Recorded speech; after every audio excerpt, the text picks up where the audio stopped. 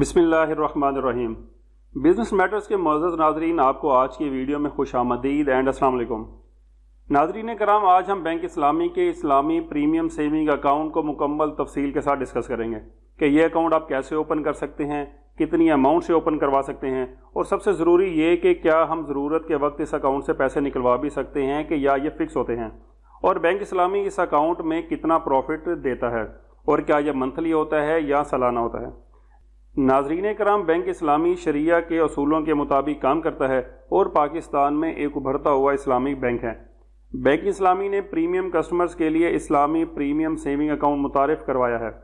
ये अकाउंट तमाम high net worth individuals sole proprietors traders N और बिज़नेस एंटिटीज़ ओपन करवा सकते हैं।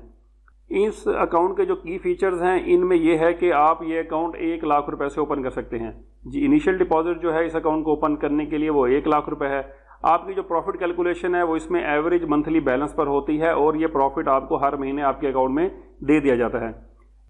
इस अकाउंट के अंदर पैसे जमा कराने और पैसे निकलवाने के लिए आपके ऊपर किसी भी तरह की कोई रिस्ट्रिक्शन नहीं है। आप जितने चाहें इस अकाउंट में पैसे जमा करा सकते हैं और जितनी दफ़ा चाहें जमा करा सकते हैं और निकलवा भी सकते हैं। इस अकाउंट के अंदर बैंक इस्लामी जो है वो पर्सनल बैंकर्स की सर्विसेज़ जो अपने कस्टमर को देते हैं ताकि उनको टाइमली रिस्पॉन्स किया जा सके। आप विद इन द सिटीज़ कोई भी ट्रांजेक्शन जो है उसके ऊपर कोई लिमिट नहीं है, आप जितनी चाहें वो ट्रांजेक्शन कर सकते हैं। इस अकाउंट के अंदर बैंक इस्लामी आपको पे पाक डेबिट कार्ड की फैसिलिटी देता है, लेकिन इसके चार्जेस जो है वो शेड्यूल ऑफ़ चार्जेस के मुताबिक होंगे, जो कि ग्यारह सौ रुपये पर एनम प्लस सोलह परसेंट एफ़ के साथ होते हैं।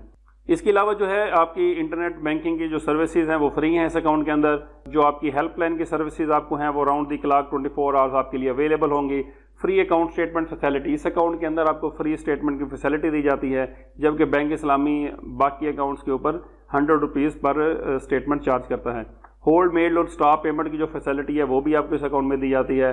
सेफ़ डिपॉजिट लॉकर्स जिनको आम ज़ुबान में लॉकर्स भी कहा जाता है, आपको वो अवेलेबल होंगे अगर वो उस ब्रांच के अंदर जहाँ आपका अकाउंट हो। लॉकर अवेलेबल है तो आपको वो फैसिलिटी भी अवेलेबल होगी। लेकिन उसके चार्जेस जो हैं, वो शेड्यूल ऑफ़ चार्जेस के मुताबिक बैंक आपसे चार्ज करेगा।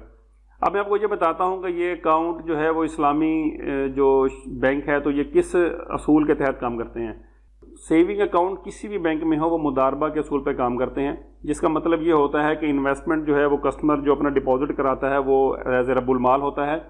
वो उसका मालिक होता है पैसे का, और जो बैंक है, वो एज ए मुदारिब काम करता है।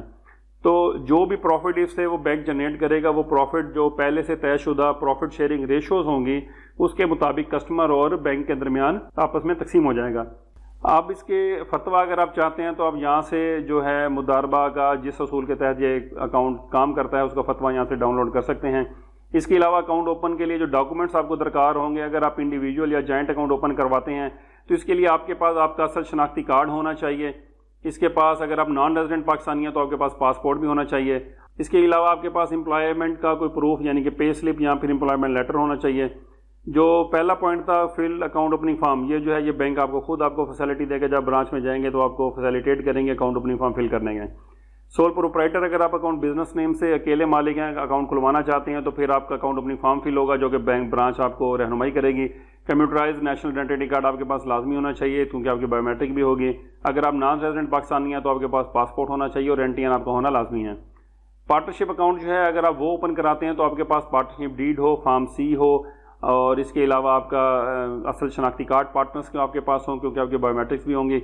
और इसके अलावा जो है, अगर आप नॉन रेजिडेंट कोई है पार्टनर्स में से तो उसका पासपोर्ट भी होना लाजमी है और आपके रजिस्ट्रेशन एंटियाँ लाजमी हो। बाकी जो डॉक्यूमेंट्स में लिखे हुए हैं, वो क्लब सोसाइटीज़ और एन वगैरह के लिए हैं, जो कि मुश्किल से ये अकाउंट ओपन होते हैं, क्योंकि उसमें हेड ऑफ़िस की और कंप्लेंस की अप्रूवल लेनी पड़ती है।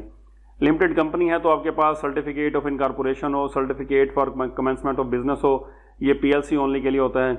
प्राइवेट लिमिटेड कंपनीज़ यानी कि, और memorandum of association article of association आपके करंट लिस्ट ऑफ़ डायरेक्टर्स हो फॉर्म 29 हो सीएनएससी ऑफ़ द डायरेक्टर्स हो बोर्ड का रेजोल्यूशन हो, और एनटीएन जो है वो लाजमी होना चाहिए। फॉर्म ए भी अगर हो तो ज़्यादा बेहतर है।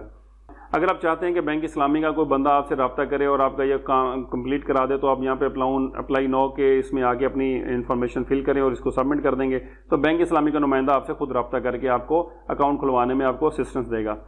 आइए अब मैं आपको बताता हूँ कि Islami premium saving account holders को सितंबर 2023 में बैंक इस्लामी ने कितना प्रॉफिट दिया है? इस अकाउंट में प्रॉफिट जो है वो एवरेज मंथली बैलेंस पर दिया जाता है, ये मैं पहले भी बता चुका हूँ आपको। सितंबर 2023 में बैंक इस्लामी ने इस्लामी प्रीमियम सेविंग अकाउंट पर 6 फ़ीसद सालाना से लेकर बारह इशारिया बावन फ़ीसद सालाना प्रॉफिट अदा किया है। नाजरीन कराम, ये प्रॉफिट किसी भी लिहाज से बेहतर नहीं है और प्रीमियम कस्टमर्स के लिए तो बिल्कुल भी हौसला अफजा नहीं है। बैंक इस्लामी के ओवरऑल प्रॉफिट रेट्स भी बिल्कुल मुझे अट्रैक्ट नहीं किए, बिल्कुल ठीक नहीं है। इन प्रॉफिट रेट्स के मुताबिक अगर आप पाँच से दस लाख रुपए का बैलेंस रखते हैं तो आपको सिर्फ़ इस्लामी प्रीमियम सेविंग अकाउंट में सिर्फ़ और सिर्फ़ छः इशारिया ज़ीरो ज़ीरो इक्यानवे परसेंट प्रॉफिट मिलेगा। जो कि पाँच लाख अगर आपका एवरेज बैलेंस होता है तो सिर्फ़ दो हज़ार पाँच सौ तीन रुपये पर मंथ बनता है। और अगर आप फाइलर हैं तो इसमें से पंद्रह परसेंट टैक्स अभी कटना है। और अगर आप नॉन फाइलर हैं तो इसमें से तीस परसेंट टैक्स अभी कटना है। नाजरीन कराम बैंक इस्लामी के डिक्लेयर्ड प्रॉफिट रेट्स जो हैं, इनसे मैं बहुत डिसार्ट हुआ हूँ। और मैं आपको कभी भी ये अकाउंट खुलवाने के लिए रिकमेंड नहीं करूँगा। नाजरीन कराम आज की इस वीडियो में ज़रूर आपको कुछ नया सीखने को मिला होगा। अब मैं आपसे अगले वीडियो तक के लिए इजाज़त चाहूँगा। इस दुआ के साथ कि अल्लाह पाक हम सबको अपने इफ्जमान में रखे और झूठ, रियाकारी और धोखाधड़ी से बचाए। आमीन। अल्लाह हाफिज़। पाकिस्तान, जिंदाबाद।